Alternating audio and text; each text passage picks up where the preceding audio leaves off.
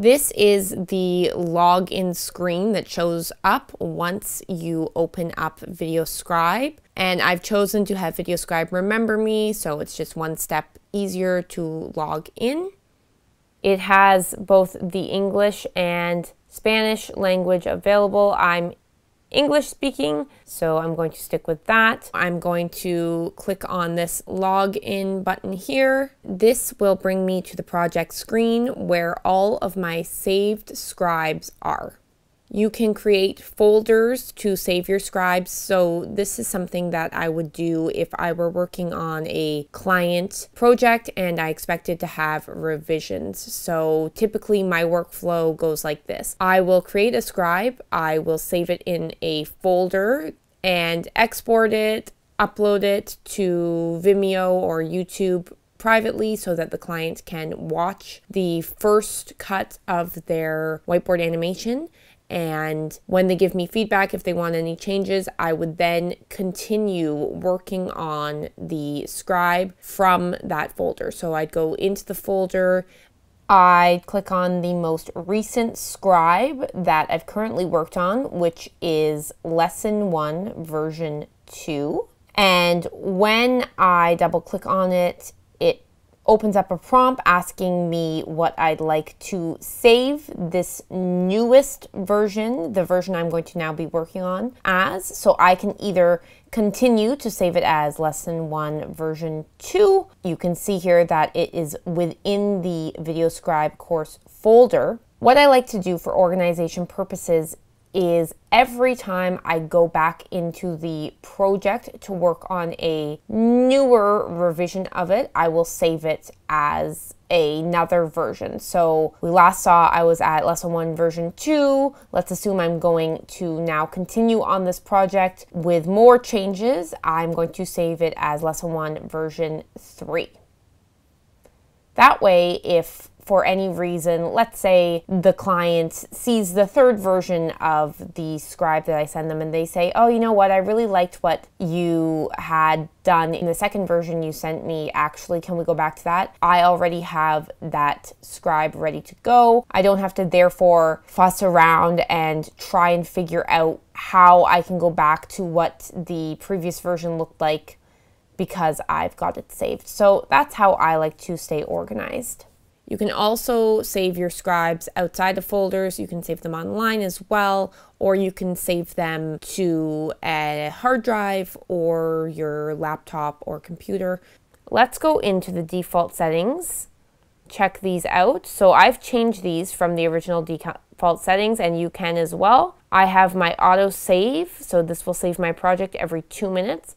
My default transition time, which we'll learn more about, I've set to 0.5 seconds. I really like that default transition time and having this set as a default makes my workflow faster and easier, which you will see later on. My default pause time, which we also explore more, is 0.5 seconds. I've set my max draw time to 4 seconds.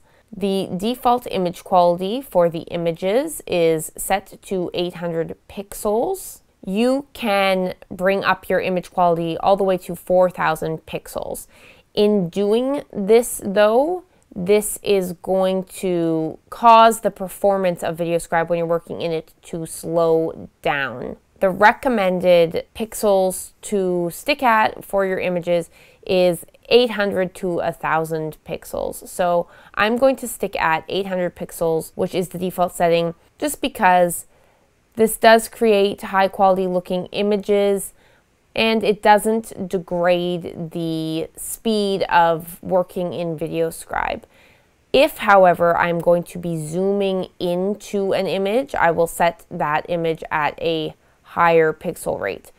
One thing to note is when you go in and change the default setting and the default pixel size of an image, that change will only be applied to the images that you've brought in to your project once that change was made. So if you're working on a project where you used the default image quality of 800 pixels throughout your whole project and then you go in and change the default pixel size to let's say 4000 which is the max you can the images that you've already used in the project will remain at the quality that they were set to when you use them.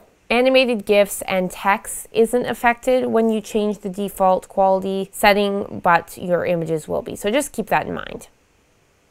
Now, as you work through VideoScribe and you create more and more different projects, you can go down here and you can have them show up as the oldest first, or the name order, or the newest project first. And here is a filter option. So let's say I'm looking for my furnace videos. By clicking that, only my scribe files that have been saved with the word furnace will show up. Let's just go back into here and clear that filter. This folder down here imports scribed files. I would use this folder if another editor saved a scribe project onto a hard drive and passed it along to me to use. In that case, the scribe project wouldn't be saved on my project panel here. I'll just show you here. So I'd click on this. I'd go into the hard drive here. I have a folder here from the other editor that says VideoScribe Projects. I double click that and there is the mermaid scribe. So highlight that and open it and it would open right up. Let's just go back to the project panel screen that shows up once you've logged into VideoScribe. You'll see that this project does not have the Mermaid project, which is the project saved from another editor on the hard drive. It does not have it showing up. That's because it's been created by another editor. When I save it, I am going to have it saved as the Mermaid and I'm going to click this check mark here. And now you can see that this mermaid project has also been saved onto my project panel here. So I can work off of it there if I planned on sending this project with the latest updates back to another editor, I would save this project on to my hard drive. This allows us to create a new scribe. So we'll click on there. And now we are looking at the VideoScribe canvas here.